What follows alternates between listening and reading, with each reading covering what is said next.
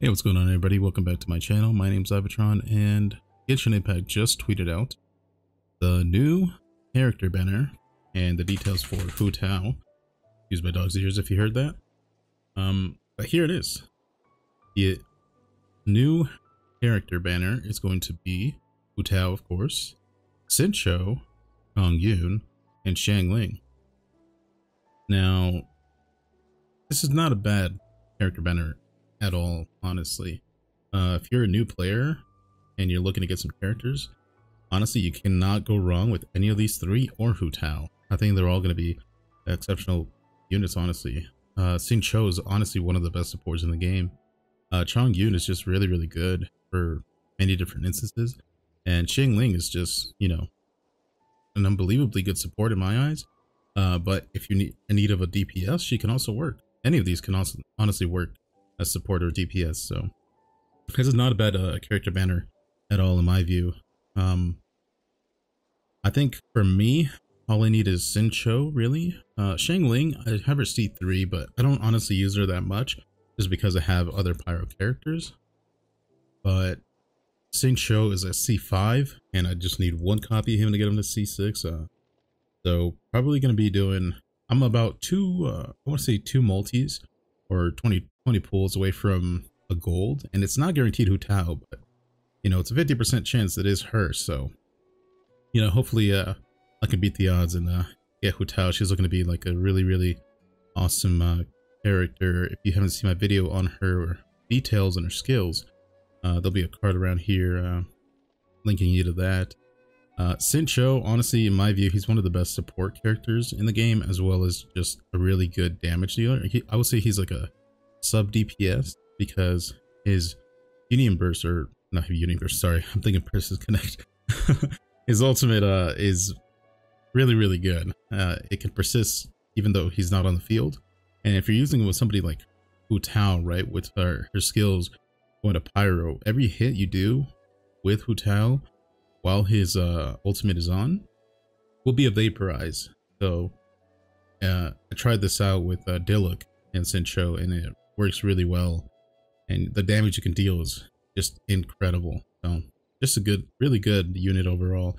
I think a lot of people still kind of, they know that he's good, but they don't build him that often. I don't see him used as often as uh, even Chongyun. So, but overall, honestly, just a really good character banner. Uh, they also released uh, some info on Hu Tao's story quest. Uh, for this one, you have to be AR40.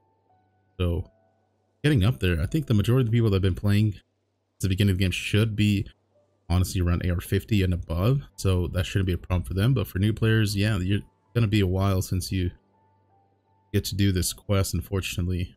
But no worries, because you have a ton more quests before that. So, you also have to complete, I think it's like chapter 3 or chapter 1, act 2, Farewell Okay. So uh, that's pretty much the requirements. I think the majority of the people that have been playing for a while should have this done. Uh, they also released uh, some new info about a new event coming. And here it is. The Bishops and Where to Find Them Expedition event. Uh, during this event, Catherine of the Adventurers Guild will post a daily investigative expedition for bishops and where to find them. Once completed, you can earn primo gems and other rewards. So, I think I saw a preview of this uh, when they did their update show, and I believe it was just like you get to send characters out, and then once your characters can find them, you can actually go and like kill the bishops. So, yeah, primo gems, Mora books, all good stuff, all stuff we need, and the weapon banner is still going to persist throughout the whole run of Hu Tao. So if you haven't gotten a chance to go for the weapon banner, uh, don't feel pressure to do so. Uh, you can go for Hu Tao first, and then maybe whatever you have left over, try to get one of these weapons. Staff of Homa's unbelievably good, honestly. If you have Zhongli, I would almost say that this weapon is... Uh, no, I can confidently say that this weapon is his best in slot. Uh, it just is uh, even over Zhongli's uh, weapon, right? Uh, it's just so good on him, and I've been using it on him lately, and it's just his damage is unbelievable.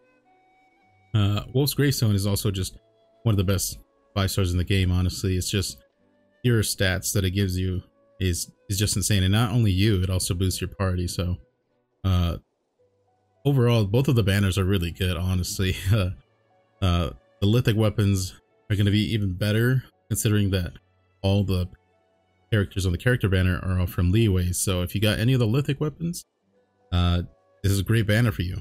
You're going to be able to equip your team and you get get that uh, crit rate and attack boost from all of them. So also the wits and lines were really good. Sacrificial bow. I used this on Venti and it's really, really good. Uh, maybe a little bit less attack, but I really like the energy that you're able to get from that.